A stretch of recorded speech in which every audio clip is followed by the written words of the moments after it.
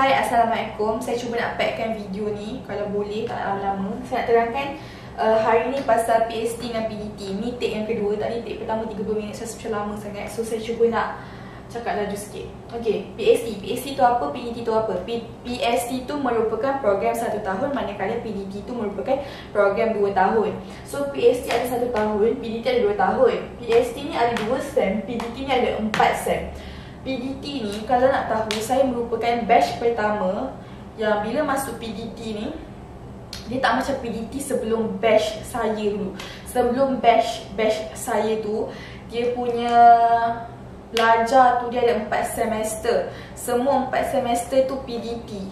Uh, macam katakan kalau subjek bio tu dia ada untuk PhD tu kan. Untuk PhD ada 10 10 topik untuk sem pertama. Tapi PDT dibahagikan 10 tu kepada 5 5 topik 5 topik. Lepas tu kalau sem kedua untuk PST ada uh, 12 topik dia kat sem 3 tu 6 topik 6 topik. Macam tu faham tak? Macam kau okey katakan kalau subjek bio lah keseluruhan untuk PST sem 1 dengan sem 2 tu 20 topik. So dia orang akan bahagikan kepada 4 so adalah uh, 5 5 5 5 tapi macam saya tak kita punya rentak sama macam PhD belajar. Uh, untuk dua sem pertama tu bio tu uh, sem satu kalau belajar 10 topik 10 topik lah sama macam PhD lepas tu sem 2 12 topik 12 topik lah sama macam uh, PhD walaupun kita orang PDT yang bezanya kita orang belajar surface sahaja. Sangat-sangat basic takkan sama macam PhD dia detail PDT dulu dia belajar detail sama macam PST dia tak belajar surface. Tapi yang beza ni dia bahagikan topik tu kepada 4 sem macam ni bagi-bagi and dia punya pointer dia ada 4 4 sem tau. Dia kira purata untuk 4 4 sem. Tapi PDT bagi macam kita orang lah batch pertama. Batch pertama saya batch uh, sem 1 dengan sem 2 tu pointer tak dikira langsung pun sebenarnya Sem 3 baru dikira. Macam sem 1 dengan sem 2 untuk PDT kita orang tu belajar surface. Dia ada exam, dia ada test, ada practical Semua tu ambil PB, assignment semua. Tapi pointer tu macam tak ada makna pun yang bezanya nak cakap eh nak cakap kat sini macam korang kau dapat result teruk masa PDT SEM 1 dengan SEM 2 tu tak mempengaruhi pointer korang untuk SEM 3 dengan SEM 4 tapi kat sini nak cakapnya korang belajarlah bersungguh-sungguh. Korang try and error. Tapi kalau result korang bawah 2 walaupun korang PDT saya nasihatkan korang pergilah masuk SPA atau JPA sebab saya rasa nanti takut PSC korang tak struggle. So masa PDT ni yang batch saya SEM 1 dengan SEM 2 tu belajar sangat basic dan pointer tak dikira. Tapi SEM 3 bermulalah kisah baru. SEM 3 ni tiba-tiba kita dicampak masuk ke dalam program satu tahun. Kita belajar macam budak PhD, belajar sangat-sangat detail, belajar fast track. Ha. Lepas tu uh, pointer kita orang dikira start daripada sem 3 dengan sem 4 lah maksudnya. Dan sem 1 dengan sem 2 tak dikira. Tapi batch sebelum saya, saya ulang balik yang PDT orang orang kira purata 4-4 ni. Macam batch saya dia kira purata 3 dengan 4 so itulah janganlah pelik. Kenapa uh, budak-budak batch uh, macam batch saya ni dia tak ada sleep uh, macam sem 1, sem 2, sem 3, sem 4 tak dikira. Eh kenapa? Ah kenapa tak dikira? Kenapa ada sem 3, sem 4 je? Sebab tak tahu kementerian ke macam tu dah tukar lah. Dan sangat mengejutnya benda ni dia diumumkan saya tak tahulah tapi saya dapat tahu pun masa taklimat masa saya datang college tu saya saya dengar taklimat macam eh lain gila saya dengar dengan apa yang saya buat research first time rupanya. Kiranya masa batch saya ni uh, Sem 1 dengan Sem 2 tu pointer tak dikira langsung. Tapi jangan tak study, tolonglah study. Walaupun benda tu basic. Nanti yang korang akan rasa macam PDT memang senang. Bila masuk PST Kalau basic pun tak kukuh PST korang hancur gila. Sebab nanti bila korang masuk PST macam Ya aku tak belajar pun benda ni kat PDT Aku tak belajar pun benda ni. Topik sama je Cuma detail tak detail. Macam menusuk ke tak macam tu nak cakap. PST memang detail. PDD tak detail. Serius saya cakap ok PST yuran dia RM500 uh, Masa masuk-masuk tu PST dengan PDT bayaran dia sama tau. Masuk-masuk je dah kena bayar RM500 Tapi PDT masa SEM ketiga tu Lepas dah habis satu tahun tu, dah habis dua SEM Masa SEM ketiga nak masuk korang kena bayar lagi. Tapi bayar dia bukan RM500 Bayar dia RM200 something kot macam tu lah uh, So saya tu sekejap sini RM500 Ni RM500 plus something-something Sebab saya tak ingat berapa harga dia. Lepas tu hmm, Saya nak cakap Ni Tips daripada saya Tolong claim dengan yayasan ni. Macam saya dulu saya claim dengan yayasan Faham uh, Saya Belajar Masuk situ bayar RM500 Lepas tu uh, Apa pre, Apa Photo state receipt apa semua Saya ingat tapi mak saya yang uruskan. Uh, lepas tu kiranya 500 tu saya dapat balik sebab saya claim Kira macam free lah saya belajar. So bagus ni metrik ni nampak tak? Tapi kalau korang daripada negeri lain claim lah dengan yayasan korang Saya tak tahu apa nama dia. Tapi macam saya yayasan faham. Okay Tapi, tapi PDT masa yang SEM ketiga tu jangan claim dah. Memang dia takkan layan dah. Setiap kali pertama tu je waktu korang belajar dia uh, Apa boleh tanggung korang punya pengajian Untunglah belajar metrik ni serius untung. Macam free ni RM500 Melainkan kalau ada orang tak cakna Dia macam eh kenapa aku tak tahu? Pun boleh claim. Uh, Salah dia lah sebab dia tak ambil tahu ya. Ni Farah dah beritahu take note Tapi kalau tak tahu tiba-tiba batch korang tak ada pula ke? Uh, Tapi batch saya ada lagi Dan batch selepas saya pun masih ada lagi.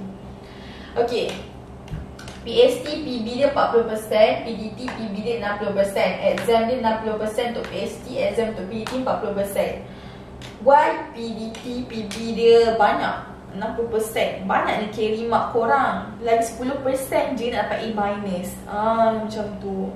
Betapa Ah petik jari mudahnya Tak Tak semudah yang disangkakan tapi tak adalah macam teruk sangat result korang Korang tak dapat teruk sangat-sangat. Kalau tak, kalau dapat teruk sangat-sangat tu memang korang tak buat assignment Tak buat Tak buat, tak buat macam tak study teruk. Gila-gila korang punya saya study. Sebab sepatutnya boleh score. PDT sangat-sangat boleh score. PB 60% tu PB tu apa? Penilaian berterusan. Dia carry mark. Korang ada assignment Assignment individu Assignment uh, group PDT punya assignment sangat-sangat banyak berbanding dengan PST PST dia punya assignment 40% je Saya tak banyak sangat. Sign PDT once dah dapat dapat lagi. Dapat dah hantar dapat hantar dapat hantar dapat hantar dapat semua. Allah pening gila masa tu ingat lagi. Tapi fine je buat. Sebab dia macam rasa kreatif tiba-tiba lah macam tu. Time tu lah otak sel-sel berfungsi. Lepas tu exam untuk PST 60% persen, exam untuk PDT 40% so korang pandai-pandai lah balance kan nanti. Tolong skor gila-gila kat PB Penilaian berterusan tu sangat membantu ya untuk budak PDT And saya nak cakap Budak PDT Kalau result korang tak bagus Ni bukan nak memperlekehkan Tapi kalau korang dapat dua something Even masa tu pun korang dah PDT Apatah lagi PST Faham tak? PST yang fast track yang stress tu. Macam mana lah korang nak hadap PDT yang senang lenang macam tu pun? Korang dapat dua lebih macam tu. Saya sarankan korang pergi pindah lah. Masuklah IPG ke SPA ke JPA ke diploma. Lepas tu uh, Saya nak cakap PST exam dia dia ada dua paper. PDT ada satu je paper. Macam satu hari tu satu subjek dia Semua budak-budak memang kan satu hari satu subjek dia. Tapi macam PST dia ada dua paper pagi dengan petang. PDT dia ada satu paper Satu hari Pagi tu je. Lepas tu uh, PST ni belajar dia sangat-sangat pack. Pack gila nak mati tu je aku cakap. Sebab dah ringkas dalam video kan So PDT banyak lopong-lopong. Dia lopong macam Faham tak? Satu hari tu korang kan 3 jam je kelas. Ha, tapi tengoklah kat mana macam pukul 8 sampai 9 tiba-tiba tak ada sekejap. Lepas tu pukul 3 sampai 5 macam tu lah. Macam PDT uh, Eh macam PST Dia tak menentu kadang tu kan. Daripada pukul 8 sampai pukul 1 Lepas tu pukul 2 sampai pukul 5 boleh jadi. Ha, Macam tu. Dia gila lah By the way, pukul 1 dan pukul 2, pukul 1 hingga 2 memang waktu timing budak metrik rehat. Saya tak sarankan korang makan time tu sebabnya pukul 1 sampai 2 tu ramai gila orang berpusu-pusu ya ke kafe dan crowded sangat. Saya sarankan korang kalau ada gap pergi je makan. Pukul 10 11 pergi je makan. Lepas tu kalau tak sempat breakfast pagi tu pukul setengah korang bangun lambat ke apa kan korang prepare makanan dalam bag. Macam biskut ke roti ke makanlah dalam kuliah dengan kelas. Makan sekejap yang tunjuk-tunjuk sangat. Tapi mostly lecturer faham. PST ni dia rushing pagi-pagi tu. Tidur lah lambat bangun nak awal.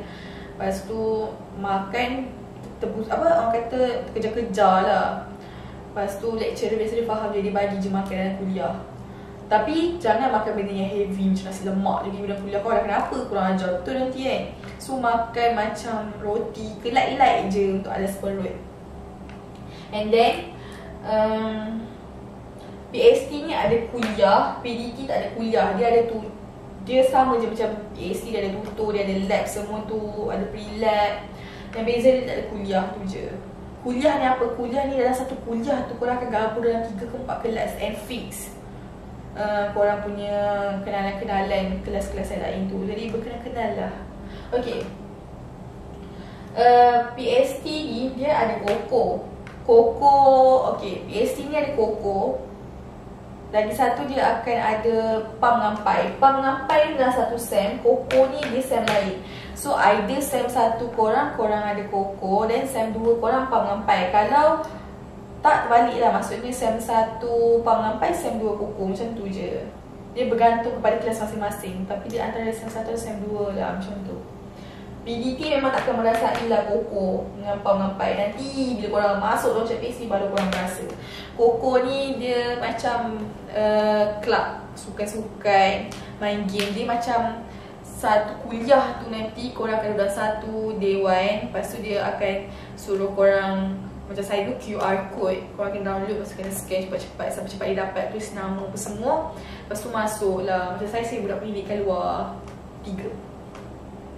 Okay uh, Koko ni korang akan handle event. Event tu korang akan anjurkan permainan apa semua tu kepada, Bergantung pada lecturer nanti Dia akan beritahu Dia akan briefing lah Kena buat kertas kerja Kena buat Google Form Tolong belajar dia buat Google Form Lepas tu pump dengan pai ni Pump dengan pai ni Pump tu korang belajar Buat uh, resume Surat iringan Surat sokongan. Korang akan belajar uh, Apa ni nanti korang kena buat Video lah. Macam video macam macam korang tahu tak yang 999 yang perlu cakap depan kamera macam tu ikut ikut kreativiti lah. Macam kita orang dulu buat bicara santai lepas tu buat berlakon-lakon. Lepas tu ada juga kita orang buat uh, apa ni macam moderator dengan panel. Macam korang tahu tak wanita hari ini ataupun MHI ah ala-ala macam tu lah macam buat bicara macam tu.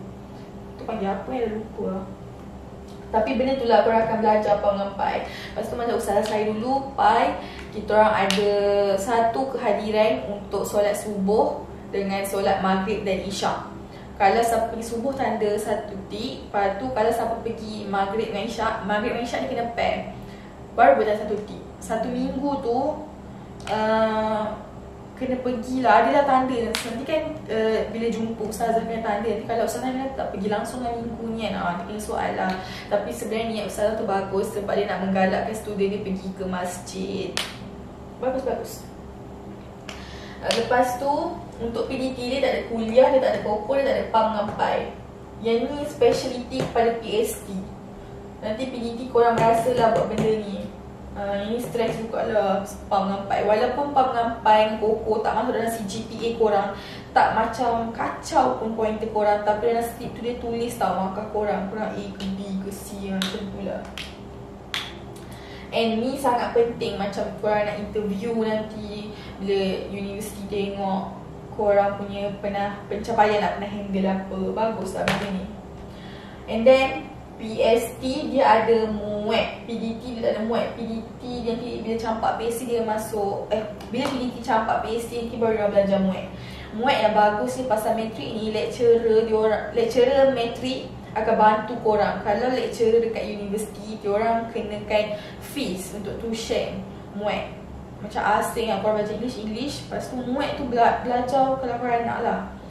Bayar pula. Metrik tak? Metrik sama macam the STPM dia akan guide satu seronok lah. Macam faham tak? Banyak dah cut cost kat situ. Lepas tu muat ni uh, pasal metrik korang berpusat kat situ. Korang tak perlu pergi ke tempat lain. And then korang punya kenalan tu macam grup korang kemungkinan satu kelas satu kelas dengan korang ataupun kelas sebelah je nanti adalah senarai nama. And tolonglah sangat-sangat berlatih dengan classmate ataupun nama yang lepas korang dah dapat tu terus berlatih. Macam berlatih lah seminggu straight. Hari-hari turun BT booking. Macam saya dulu saya, saya tukang booking BT and then saya ajak semua classmate saya datang BT tu. Lepas tu buat meja-meja-meja susun. Lepas tu buat apa? Macam speaking test. Betul-betul macam muat Lepas tu PDT ni Kalau korang tak ada muat Janganlah bersenang lena Korang ada je listening test semua tu. Dia macam nak tolong korang Nanti lecturer nak tolong. Dia ni pun English sebenarnya dia ada grade dia. Dapat A ke dapat B ke. Tapi dia tak mengganggu pun pointer korang. Tapi keluar dalam slip tu nanti. Ha, Macam tu. Lepas tu saya nak cakap uh, Untuk budak PDT Korang kan ambil masa lama sebelum nak pergi ke PST Siapa-siapa yang macam English je zaman SPM tak kredit Tolong pergi repeat. Sebab apa? Universiti awam tak akan terima korang. Sebab dia sekurang-kurangnya nak kredit English. Macam kawan saya dia dapat 7A 8A tapi BI dia satu satu je BI satu BI je pun dia dapat D kena capai PDT lepas tu dia struggle pula uh, untuk repeat masa SP eh, apa nak repeat untuk SPM subjek English. Sebab dia dapat kredit alhamdulillah lepas tu PDT ni korang kalau nak jadi doktor ke nak jadi apa ke check dalam UP pocket lah kan. Walaupun korang PDT peluang korang ada. Cuma korang kena betulkan balik result melalui SPM ulangan. Ramai ni budak-budak PDT yang repeat exam untuk subjek AdMed dengan English. Hmm. lepas tu PST ni belajar dia sangat-sangat detail ya sangat-sangat detail dan fast track PDT dia tak detail dia outer surface gitu. Okay, PST dengan PDT dia ada modul 1, 2, 3 untuk aliran sains. Subjek yang wajib diambil untuk ketiga-tiga modul ni adalah mat dan kimia. Lepas tu, modul 1 dia ada subjek fizik dengan bio. Modul 2 dia ada tambah lagi fizik dengan sains kom. Modul 3 dia ada bio dengan sains kom. So basically, modul 1 dia tak ada sains kom. Modul 2 dia tak ada bio. Modul 3 tak ada fizik. Okay, Account pula dia ada subjek Mat, Eco, Account, BSNS Ni maksudnya perniagaan tanya kawan saya Lepas tu Mat untuk budak account dan budak aliran sains sangat-sangat berbeza. Dia belajar silibus yang berbeza. Saya rasa sebab even kalau korang pergi beli buku di MBS ke Popular ke Dia akan tulis, jangan salah beli eh. Dia ada tulis tu Mat per account lah dengan Mat uh, aliran sains. So mat per accountant ni lain ni Syllabus dia orang Kalau korang try nak tanya nak belajar ke Sesat dia orang pun tak belajar Apa yang korang belajar. Macam tu lah. Lepas tu Modul uh, untuk account. Account ni dia tak ada aliran PDT Dia memang akan khas untuk satu tahun je. Aliran PST atau PDT ni khas untuk aliran sains. Lepas tu nak tambah lagi apa? Hmm. Boleh ke saya nak tukar uh, boleh ke saya nak tukar modul? Boleh kalau korang nak tukar modul korang daripada modul 3 nak pergi modul 1 pun boleh modul 1 nak pergi modul 3 pun boleh 2 nak 1 ke macam mana pun boleh pergi. Tapi kalau tanya boleh ke daripada PDT nak tukar kepada PST haram tak boleh. Sebab dia tahu nanti korang takkan boleh bawa. Tapi kalau PST nak ke PDT boleh. Memang boleh. PhD nak ke PhD boleh. Tapi, tapi PhD nak ke PhD tak boleh Okay, boleh ke budak sains nak pergi ke aliran account Walaupun tak ada basic account, boleh. Sebab kawan saya, dia dia dapat PhD Lepas tu dia pergi tukar kepada account Boleh je, padahal masa sekolah dulu Dia dia ambil subjek fizik, kimia dengan sains komputer tapi dia tak ada langsung basic perniagaan Tak ada account memang tak belajar. Tiba-tiba dia masuk matrik dia ambil account. Eh nasib baik weh dia perform 3.8 ke 3.9 macam tu lah. Tak ingat sangat. Tapi dia sekarang kat UM dah. Lepas tu Ah, janganlah ingat macam account. Ni senang Siapa tak tahu. Tapi ada je kawan saya daripada Ali dan Sense Masuk account dia tak perform. So ni semua bergantung kepada diri masing-masing. Hmm, Bergantung kepada diri masing-masing lah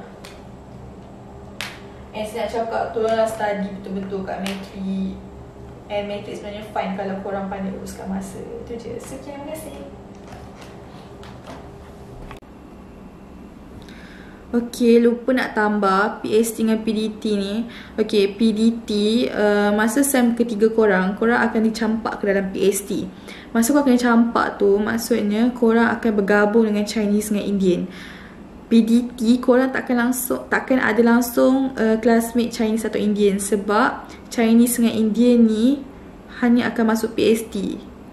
Tapi yang Bumi Putra boleh masuk PDT. Macam tu lah. Diorang akan belajar fast track je yang uh, bukan Bumi Putra China dengan India tapi nak cakapnya budak China dengan India yang masuk matric tu result dia top top belajar lah diorang memang bagus sangat diorang tak kena ikut ilmu and diorang friendly sangat lepas tu korang try lah ambil ilmu sebanyak mungkin.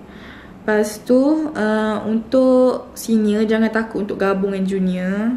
Jangan rasa awkward sangat. Mula-mula tu memang lah Tapi try try macam bergaul. Kalau korang tak start Dia orang pun takut nak start dengan korang Sebab dia fikir korang senior.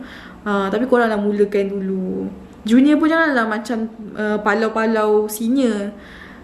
Korang kena saling tolong Menolong macam tu And saya nak cakap Kalau korang PDT uh, Apa ni kalau Mac korang dulu masa SPM dapat D atau E jangan terkejut tiba-tiba korang masuk PDT dengan PST at, apa Mac korang dapat A. Sebab memang ada je macam kawan saya result SPM biasa-biasa at Mac ada E lagi tiba-tiba masuk PST dengan PDT dua-dua empat-empat SEM dia perform dia dapat 4 flat ha, gempak tak gempak.